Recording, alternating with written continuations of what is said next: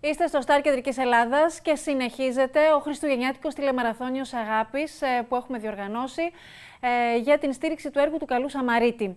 Θα πάμε και πάλι στη σύνδεσή μας ε, στην πλατεία του Αγίου Νικολάου. Θα συναντήσουμε την Κάτια Καραχάλιου, η οποία έχει μαζί της τον κύριο Μπαλτά. Τον κύριο Τάσο Μπαλτά είναι ο πρόεδρος του Ελληνικού Ριβατικού Συλλόγου.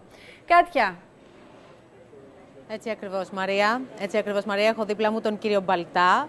Κύριε Παλτά, το μήνυμά σας για την δράση που γίνεται από τον Σύλλογο Καλός Σαμαρίτης σήμερα; Ναι, είναι πολύ σημαντικό το έργο του, του Συλλόγου, ε, του Πάτερ Τιμόθεου.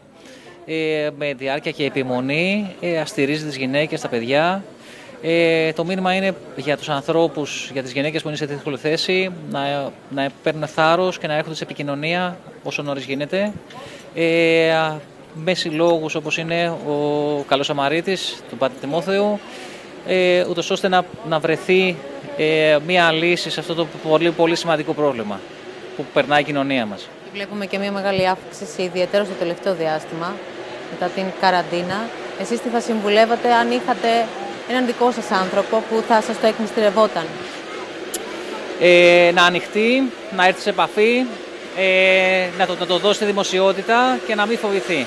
Είναι δύσκολες καταστάσεις αυτές που ζούμε, μαζί με την πανδημία, μαζί με το φόβο, μαζί με τη συνεχόμενη κρίση στην οικονομική όλα αυτά τα χρόνια.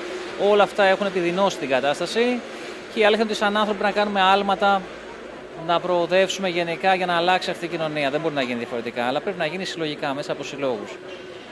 Μαρία. Κάτι να σε ευχαριστήσουμε πάρα πολύ και τον κύριο Παλτά από τον Ορειβατικό Σύλλογο.